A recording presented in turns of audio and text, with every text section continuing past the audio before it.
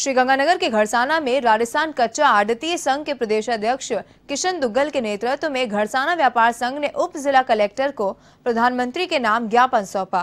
ज्ञापन में कृषि जिन्स कच्चा आड़ती के मार्फत करने और एक करोड़ पर दो प्रतिशत टीडीएस हटाने के मंडल कानून 2017 को निरस्त करने की मांग की। इस दौरान व्यापार मंडल सचिव राधेश्याम मेहता, राधे मिड्डा सहित बड़ी संख्या में व्यापारी मौजूद रहे।